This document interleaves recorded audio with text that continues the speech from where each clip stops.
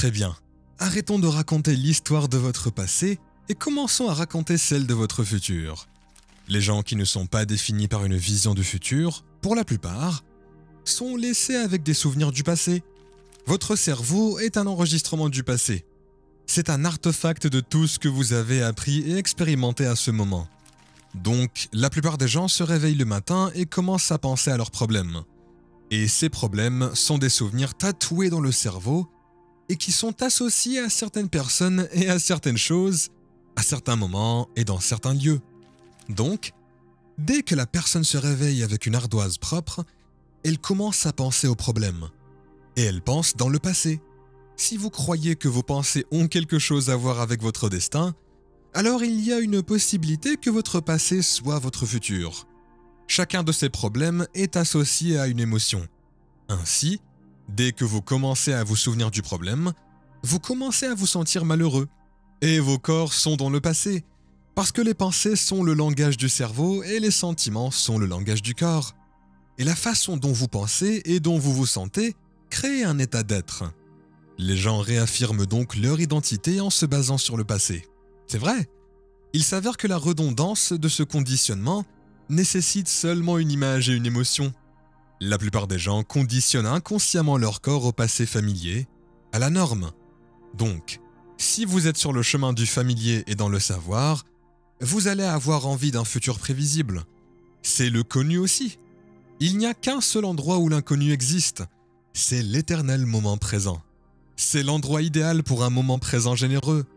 Vous devez donc vous efforcer d'amener cette personne à dépasser les émotions qui la maintiennent attachée ou ancrée dans le passé. Et oui, cela demande un effort pour le faire. Mais si vous continuez à travailler avec la formule, vous atteindrez ce moment élégant où il y a une libération de l'énergie. Et alors, votre corps, en tant qu'esprit inconscient, qu'esprit objectif, ne croit pas qu'il vit dans la même expérience passée 24 heures par jour parce que vous libérez le corps de cet état émotionnel. Alors vous demandez à la personne, pourquoi êtes-vous si malheureuse? Pourquoi êtes-vous si frustrée?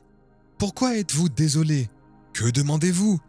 Au moment où vous leur posez la question, leur cerveau va associer cette émotion à un événement passé, à un souvenir, à une mémoire. C'est parce qu'ils n'ont rien à attendre de leur avenir.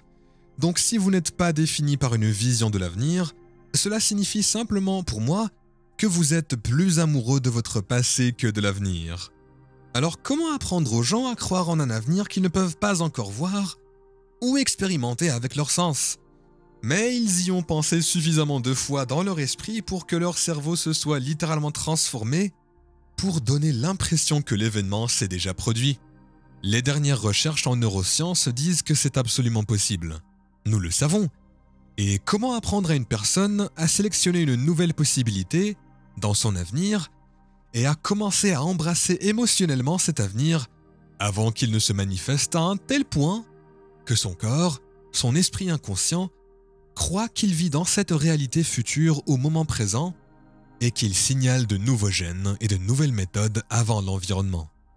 Leur corps commence donc à changer pour ressembler à l'événement qui s'est déjà produit. Nous avons prouvé que c'est possible. Maintenant, pensez à ceci.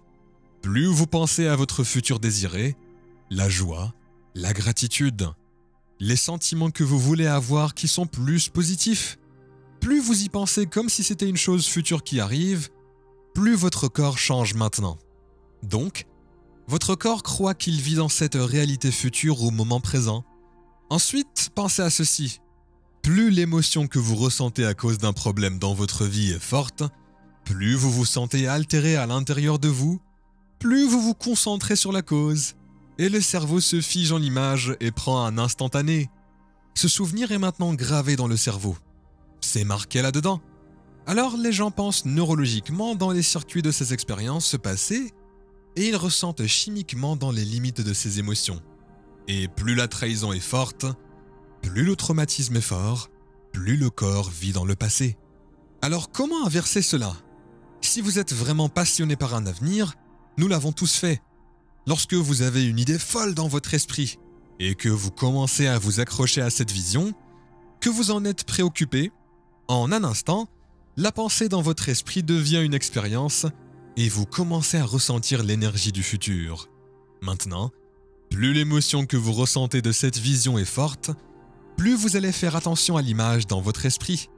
À partir de là, vous vous souvenez de votre futur, mais si vous prêtez attention à la sensation de la douleur passée, vous allez créer la douleur actuelle.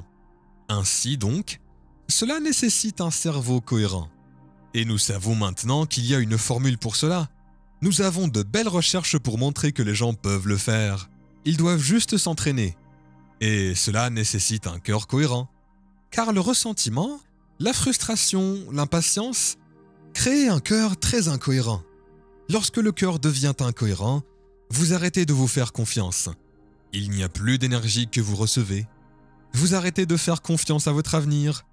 Donc, s'il y a des preuves physiques dans votre cerveau et votre corps, des preuves physiques qui donnent l'impression que l'événement s'est déjà produit, il est tout à fait possible que vous pensiez neurologiquement dans les circuits de votre futur, et la manière dont vous pensez et dont vous ressentez définit votre état d'être. Ce qui fait qu'à ce moment-là, votre état d'être est de vivre dans le futur au lieu du passé. Au moment où vous vous déconnectez de l'émotion de votre futur à cause de la circulation ou d'un collègue de travail, ou de votre ex, ou de tout ce que les gens inventent, vous êtes de retour à l'énergie de votre passé et vous allez commencer à chercher à analyser. Pourquoi cela ne s'est pas produit Si vous ressentez l'émotion de votre futur, pourquoi la chercheriez-vous?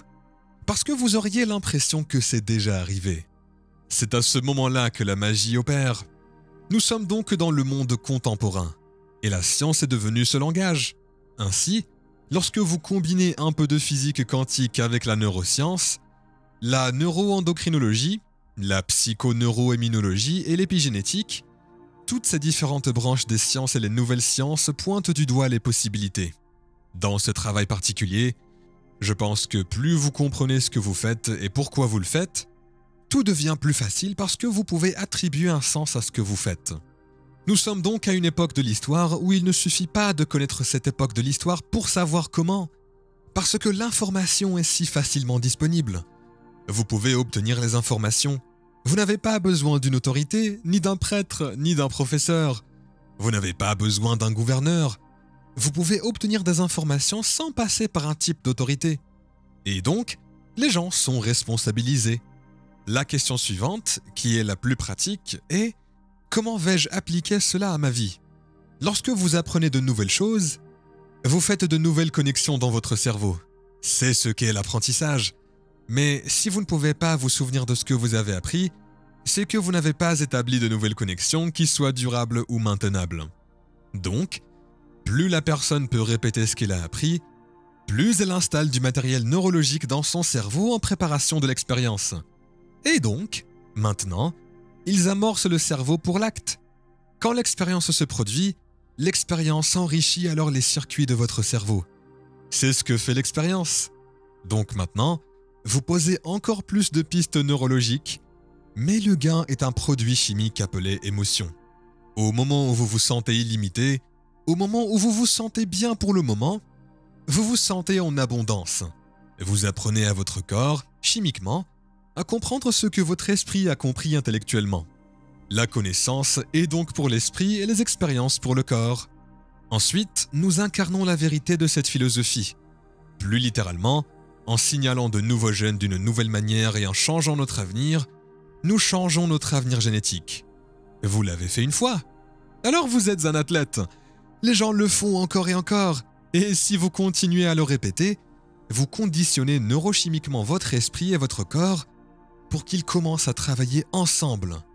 Et la redondance de l'ACC encore et encore, les conditions, le corps, pour savoir comment le faire mieux que l'esprit. C'est devenu inné en vous telle une seconde nature. C'est facile, c'est familier, c'est ce que vous êtes. Et donc, je pense que nous commençons en tant que philosophes. Nous nous initions et nous devenons des initiés. Puis, nous maîtrisons la conscience, l'expérience, la sagesse, l'esprit, le corps, l'âme en apprenant avec votre tête, en appliquant avec vos mains, en le sachant par cœur, en ne pensant pas à faire pour être. Je pense alors que ma réponse à ce genre de questions ou de commentaires est que oui, nous devrions nous lever comme si nos prières étaient déjà exaucées. Le problème, c'est que nos sens nous trompent en nous séparant. La personne dit ⁇ Je veux être guéri, je veux être en bonne santé, je veux être riche ⁇ Et ils l'imaginent, puis reviennent et ce n'est pas là. Donc en voyant cela, la pensée de leur avenir crée l'émotion du manque, de la séparation, les pensées du langage du cerveau et les sentiments du langage du corps. C'est comme si votre esprit et votre corps étaient en opposition. Ainsi, si vous pensez à quelque chose comme l'appréciation, la reconnaissance ou la gratitude, la gratitude, lorsque vous recevez quelque chose, lorsque vous venez de recevoir quelque chose, lorsque quelque chose vous arrive en ce moment ou quelque chose vient de vous arriver qui vous plaît ou vous surprend, ou qui vous fait plaisir, vous ressentez cette émotion de gratitude. Ainsi, la gratitude devient la signature, la signature émotionnelle que cela s'est déjà produit. La gratitude est l'état ultime de la réception. Donc maintenant, quand la personne combine une intention claire avec son futur, qu'elle ouvre son cœur et qu'elle ressent l'émotion de ce futur, son corps est subjectif. C'est l'inconscient qui ne fait pas la différence entre l'expérience réelle et sa vie qui crée l'émotion qu'il fabrique par la seule pensée. À ce moment-là, leur corps croit qu'il se trouve dans ce futur, dans le moment présent, et plus l'émotion qu'ils ressentent est forte, plus ils se sentent altérés à l'intérieur d'eux, plus ils font attention à l'image dans leur esprit. Nous pourrions alors dire qu'ils commencent à se souvenir de leur avenir. Biologiquement, c'est la même chose que de se souvenir du passé, donc, si vous continuez à vous entraîner à ouvrir votre cœur et à le combiner avec une intention claire, alors la pensée et le sentiment changent votre état d'être. Ce qui signifie que, si vous continuez à le faire au fil du temps, vous aurez l'impression que votre avenir est déjà arrivé. Alors, quelle est la signification de cela? Si vous avez l'impression que votre avenir est déjà arrivé, vous arrêtez de le chercher. Vous n'êtes plus en train d'attendre et de vous demander quand cela va arriver ou comment cela va arriver. Vous avez l'impression que c'est déjà arrivé. Alors maintenant, vous enlevez votre pied de l'accélérateur et vous n'essayez plus de prédire ou de contrôler ou d'attendre comment cela va se passer. Vous êtes connecté émotionnellement à votre futur. L'antithèse est également vraie. Plus l'émotion que vous ressentez pour une trahison, des coups et des traumatismes est forte, plus vous vous sentez altéré à l'intérieur de vous, plus vous connaissez votre concentration sur l'environnement extérieur. Le cerveau prend un instantané qui s'appelle un souvenir. Et donc, plus l'émotion est forte, plus le cerveau commande l'imagerie neurologique dans le cerveau. Ainsi, la personne pense neurologiquement dans les circuits de cette expérience et ressent les limites de ses émotions. Nous pouvons donc dire que la biologie de la personne appartient littéralement au passé. Vous ne pouvez pas créer un nouveau futur si votre état d'être est dans le passé. Les gens réaffirment donc leur identité de cette façon. Ils se réveillent le matin et ils se disent ⁇ Laissez-moi réfléchir à mes problèmes ⁇ Et ces problèmes sont des souvenirs d'expériences passées qui sont gravés dans le cerveau. Ils pensent donc à la personne, à l'endroit, à l'objet, à l'expérience, et nous pouvons en déduire que s'ils croient que leurs problèmes ont quelque chose à voir avec leur destin, ils pensent au passé, et chacun de ces problèmes est associé à une émotion. Ce qui fait que maintenant, ils se sentent malheureux, ils ressentent de la peur et ils se sentent indignes.